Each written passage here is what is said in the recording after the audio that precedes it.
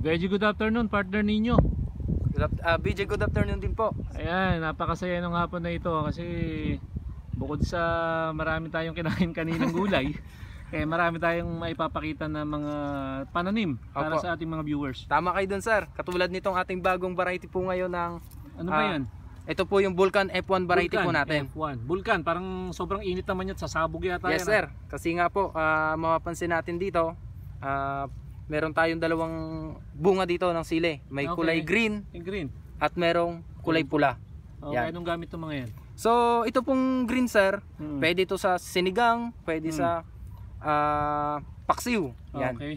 So, yung atin naman pong pulang sili na ito ng bunga din ng bulkan, Mm. ito po, pwede po to sa mga pangsawsawan. Sawan. Yan, sa pwede din po to sa yung pansit. ano, sisig. Yes, sir. Tama-tama sir, sa Sisig. Yan, rin. panalong panalo po ito. Ah, okay. Okay. Ang daming bunga. eh. Actually, ang nagugustuhan ko dyan sinasabi mong vulkan na hybrid na yan, napakaraming magbunga. Opo, hindi And, lang. um, saan naman tinatanim yan? Saan kilala yung mga vulkan mo na yan? So, ito po sir, kilala ito sa part ng Cebu. Cebu. Yes sir. Cebuano. Yes sir. Okay. Doon po talaga siya kilala. Yung mga Bicolano, meron na kaya dyan? Ah, Bicolano, yung sa Bicol. Pwede rin, ano? pwede din sir, pwede din po Kasi sa Bicol. naman yung mga Bicolano, yung mahilig sa manghang eh. Opo, wala po silang masyadong selan sa silay pagdating po sa Bicol. Yan. Oh, okay. So, yun. Eh, hindi naman siguro mahirap palagaan yan. Hindi naman. Ah, hindi sir. Ay, kat- katulad din po ito nung pag-aalaga natin doon sa mga ibang Mm. sili natin na Kasi pinakita nakita kanina. Ko, eh, maganda rin ang mga dahon nito. Partner ninyo. Ayun o, ang ganda dun sa eh, mga iba pang tanim mo, ang ganda.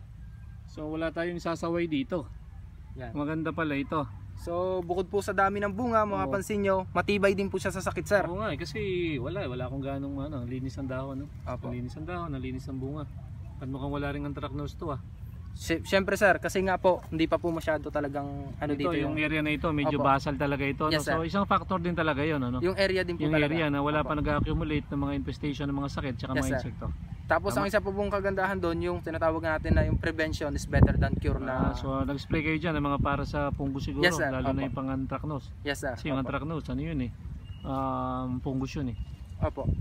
So- Mm, okay. So, wag natin kalimutan siguro, paalala yung tender loving care. Siyempre sir, yung TLC na tinatawag TLC, natin. Oo, oo, talagang, Yan. So, napakalaking factor po nun pag sa dating sa pagtatanim ng anumang oo, na wag nating pabayaan, dapat ating alagaan. Yes sir.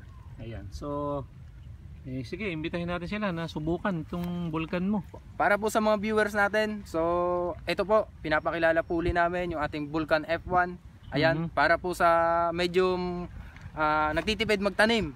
Yan. So, may sausawan ka na, may pang paksiw at pang sinigang ka pa. Yan. Actually, partner, hindi siguro tama sabihin nagtitipid eh. Kasi pag tinanim mo ito, eh So- malamang malaki yung kita mo. Yes sir, okay po, tama po kayo doon. Opo. At tipid siya in a way kasi 2 in 1 sabi mo, Opo. dual purpose. 2 in 1 siya kasi makakatipid tayo doon sa Mm. area na tataniman. Okay, napakabuti ng tanim na ito. At sa muli, partner ninyo, mabuti kang tao, napaka noble ng ginagawa mo, nagsishare ka ng information tungkol sa pagtatanim ng gulay. So with that, maraming salamat partner Thank you din ninyo po sir. and sa ating mga viewers. Ayan. Ayan, tingnan nyo po ulit. Ito daw yung vulkan na hybrid na dark green ang kulay kapag ah, yung hilaw pa at pag inahinog na nagiging kulay pula. So para po sa inyong lahat, subukan po ninyo. And ah, ito po ang inyong Vegeman. Veggie good afternoon po sa ating lahat.